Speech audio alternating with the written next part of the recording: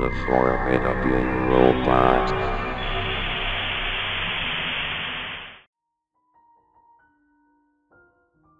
Have you ever heard of something called Chapter Black? No? I'd thought so. It's a persistent name mentioned only among the most hardcore of VHS collectors and retro AV nerds. While only a rumor, it's been kind of an urban legend in the video world that's been known since the 1980s. The legend goes like this Chapter Black is a VHS cassette tape said to have originated out of East Asia, presumably Japan or Taiwan. It's mysteriously always in pristine condition, with many different witnessed appearances to it. Some have said that the cassette is a simple yet strange no brand cassette, with a white label written on it in Chinese letters in black ink, Chapter Black. Another goes that the cassette is a slate blue SVHS cassette, with a customized narrowed square label space, with the label being a sticker with a red seal crested with a pair of laurels, apparently for a very important professional organization. All of the tapes have their reels set at the max 240 minute mark. Whoops, got into the technical details again. Sorry about that. The main point is that Chapter Black is a very elusive videotape. Strangely, it always usually finds itself in a thrift store or second-hand store or another. Despite someone claiming to have it, it mysteriously disappears under some strange circumstance later in the week. The owners who were able to correspond back usually have found their places ransacked in some way, but it's always Chapter Black that goes missing. Other former owners haven't shown up back to the collection scene since. If there's one thing I forgot to mention, when I mean hardcore, I mean like, into what isn't really what you'd call legal.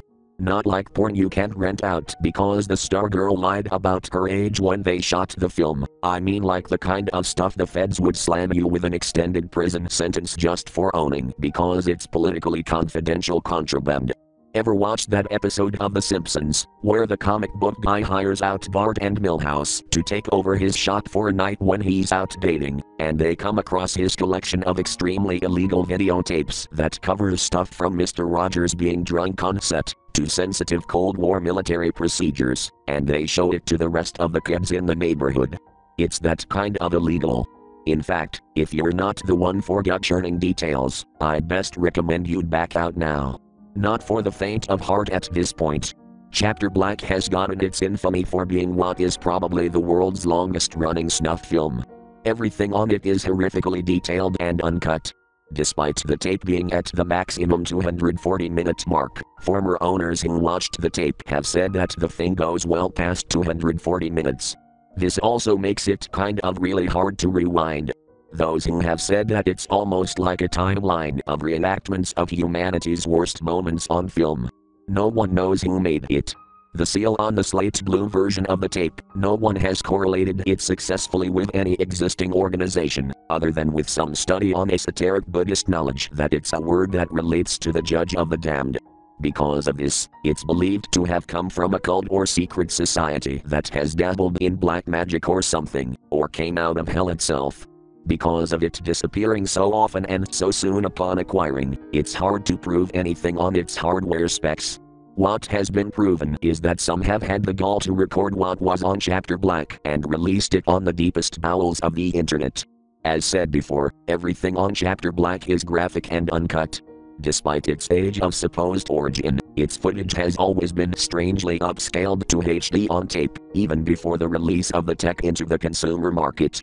Because of it not being even NC 17 or even X rated material, many torrenting and media hosts have taken it off of their sites because of complaints by users, making footage rare to acquire. What has been acquired though, many have regretted ever downloading it since. Eyewitness accounts have told some grim things, horrible things they've seen out of Chapter Black. Their confessions correlate that there is a motif to the film, the worst moments of humanity documented down to each and every second. One got a section dedicated to Vlad the Impaler, or as he is popularly known, Count Dracula. Some have come across footage of the slavery trade, with different parts about different eras of time and parts of the world, from Africa, Europe, and Asia.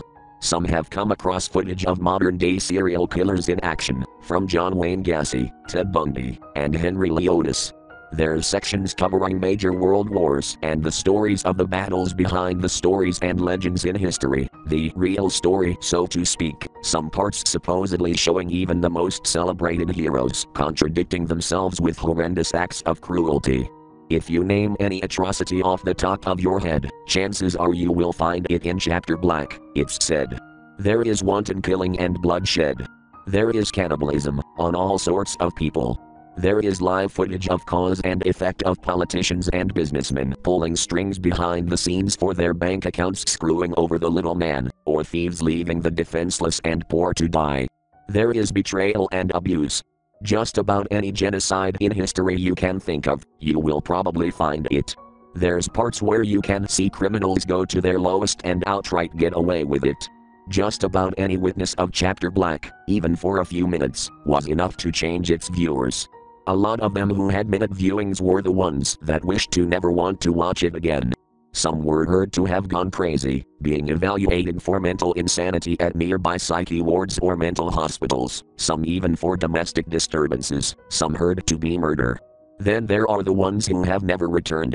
They were the ones who likely jumped off the cliff into the abyss, to watch Chapter Black as long as they could probably thought they could take it. No one knows where they went, God only knows what they are doing now. Even after what has been confirmed to be the footage of what is supposedly mankind's worst, uncut and in full, there are still questions left unanswered. Who keeps ransacking owners just to take this tape? What on earth is this made for? Who made Chapter Black? And even then, the stories around this thing have only kept coming. Just last week at the time of this writing, it's been on the radar that a police station was somehow broken into for having the tape in jurisdiction. Be careful if you find it.